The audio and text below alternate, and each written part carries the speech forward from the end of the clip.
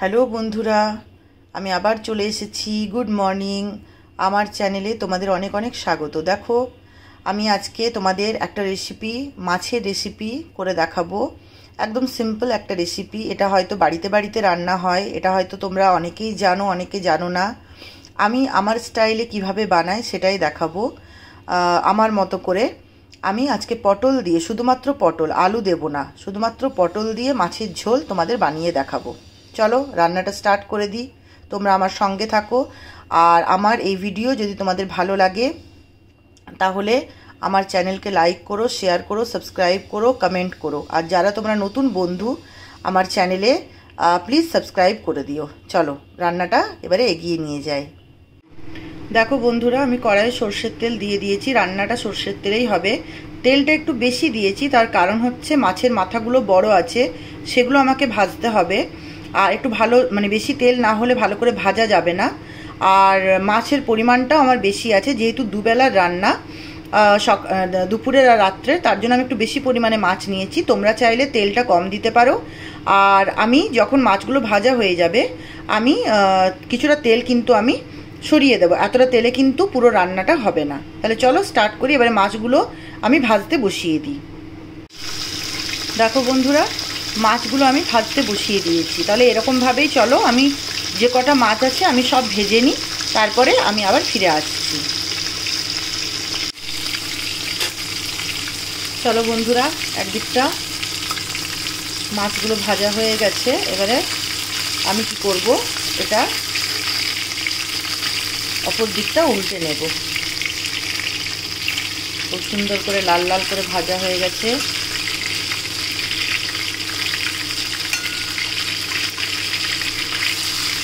আচ্ছা এই রান্নাটা কিন্তু অনেকে হয়তো নিরামিষ করে থাকবেন, ঠিক আছে? অনেকে নিরামিষ করে থাকবে তোমরা।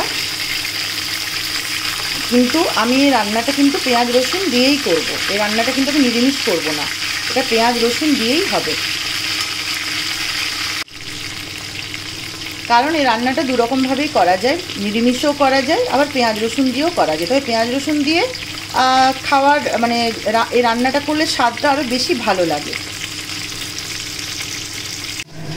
দেখো বন্ধুরা, আমি এখানে পটল কেটে নিয়েছি। যেরকম আলু পটলের তরকারির জন্য যেরকম পটল কাটা হয়, এই যে এরকম করে আমি পটল দুভাগ তিন ভাগ করে, বড় পটল তিন ভাগ আর ছোট পটল দুভাগ করে আমি ভালো করে কেটে নিয়েছি আর ধুয়ে নিয়েছি। এবারে আমি কি করব? এতে নুন আর হলুদ আমি মাখাবো।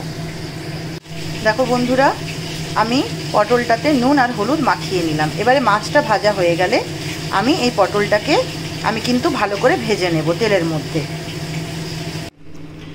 আমার মাছ ভাজা হয়ে গেছে, বন্ধুরা। লাল লাল করে ভালো করে মাছ ভেজে নিয়েছি। এবারে কড়াইয়ে এই যে তেল আছে, আমি এর মধ্যে এবারে আমি পটলগুলোকে দেব। নুন, হলুদ, মাখানো পটলগুলো আমি এর মধ্যে ভাজব।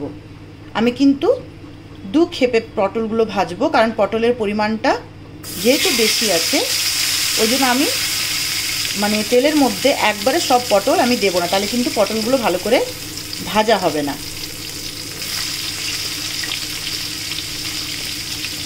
আর পটলগুলো ভালো করে না ভাজলে এর কিন্তু খাবার সময় স্বাদটা পাওয়া যাবে না।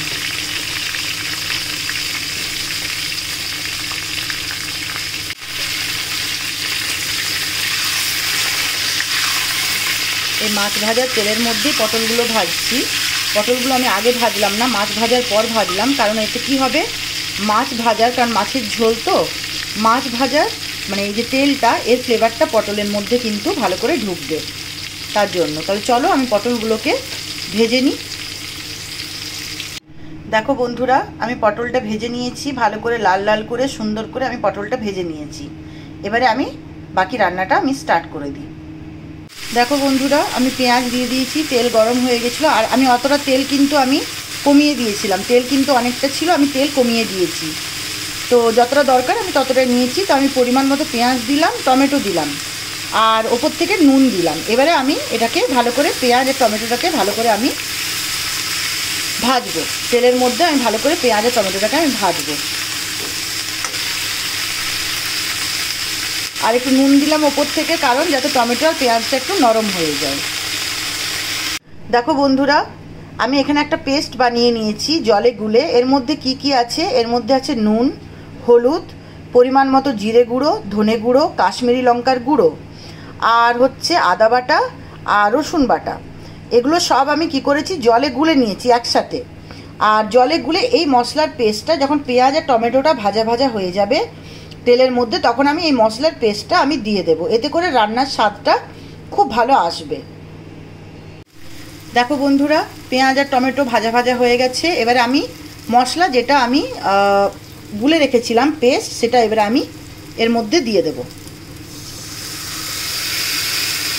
এবারে আমাকে এটাকে ভালো করে কষাতে হবে। দেখো বন্ধুরা, মশলাটা অনেকটা ভাজা ভাজা হয়ে গেছে। পুরোটা এখনও ভাজানো, কষানো হয়নি। এবার আমি অর্ধেকটা হয়ে গেছে। এবারে আমি কি করব? ওই পটলগুলো, ভাজা পটলগুলো এর মধ্যে আমি দিয়ে দেব। ভাজা পটলগুলো দিয়ে আমাকে এর সঙ্গে মশলার সাথে ভালো করে পটলটাকে আমাকে কষতে হবে। এবারে ভালোভাবে আমি এই মশলার সাথে আমাকে ভালোভাবে পটলটাকে এবারে কষাতে হবে।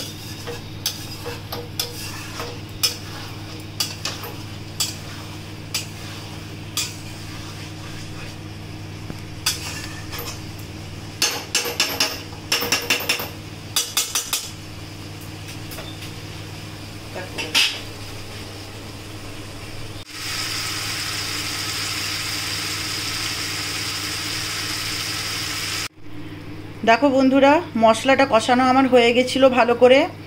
আর মশলা থেকে তেল ছাড়তে শুরু করে দিয়েছিল। আমি জল দিয়ে দিলাম, পরিমাণ মতো জল। আমার যতটা ঝোলের দরকার, আমি যেরকম ঝোল খাব। কারণ এটা ভাত, রুটি যে কিছুর সাথে খাওয়া যেতে পারে। তো ওই জন্য আমি পরিমাণ মতো জল দিয়ে দিলাম। আর এবারে এটা ভালো করে ফুটছে। আমি সামান্য একটু নুন দিয়েছি। এবারে আমি মাছগুলো এর মধ্যে দিয়ে দেব।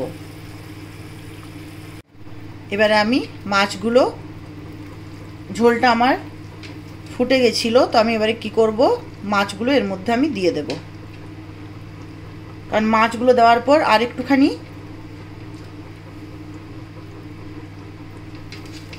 ও ঝোলটাকে, মাছগুলো একটু ঝোল, ঝোলটাকে একটুখানি টেনে নেবে। হয়তো আরেকটু জল আমাকে দিতেও হতে পারে।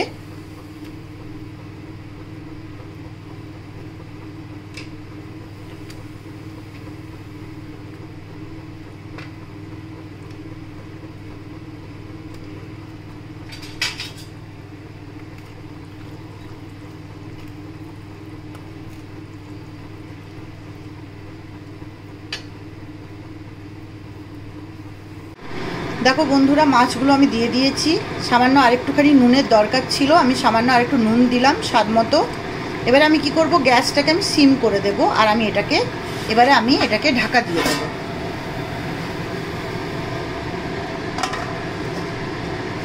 এটাকে আমি ঢাকা দিয়ে দিলাম। কিছুক্ষণ এটা ঢাকা থাকুক, কারণ মাছের মাথাগুলো যেহেতু দিয়েছি, মাছগুলো একটু আমি চাইছি ঝোলের সাথে একটু যাতে নরম হয়। দেখো বন্ধুরা, আমি ঢাকনাটা খুলে দিয়েছি। ওই আমি দু মিনিট মতো আমি ঢাকা দিয়ে রেখেছিলাম। তারপরে ঢাকনাটা আমি খুলে দিলাম। আর ঢাকনাটা খোলার পরে আমি এবারে এটাকে ভালো করে আমি ফুটতে দিচ্ছি। যে মাখা মাখা হয়ে যাবে বা আমার যতখানি ঝোল দরকার, যতটা পরিমাণ ঝোল দরকার, ততটা রেখে আমি তারপরে এটাকে গরম মশলা দিয়ে আমি, এটা ধনে পাতাও দেওয়া যেতে পারে, গরম মশলাও দেওয়া যেতে পারে। আমি গরম মশলা দেব, গরম মশলা দিয়ে আমি এটাকে আমি কিছুক্ষণ স্ট্যান্ডিং মানে বন্ধ করে দেবো, কিছুক্ষণ স্ট্যান্ডিং টাইমে রেখে দেবো। দেখো বন্ধুরা, আমি গরম মশলা দিয়ে দিয়েছি, রান্না কিন্তু আমার ফুললি কমপ্লিট আমার এই পরিমাণ ঝোল আমার লাগবে।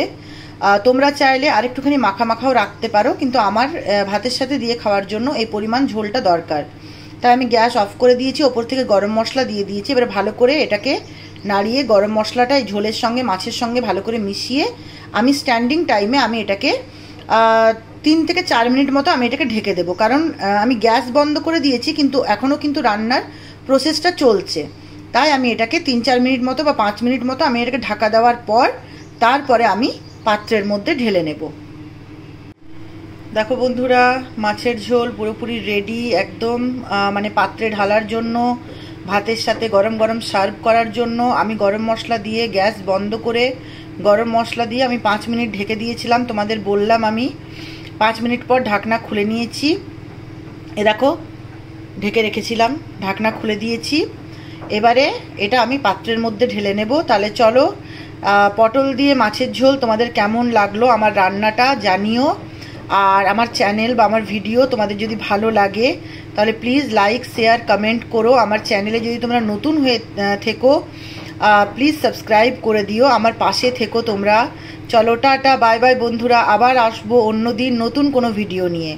বাই সবাই সাবধানে থেকো, ভালো থেকো।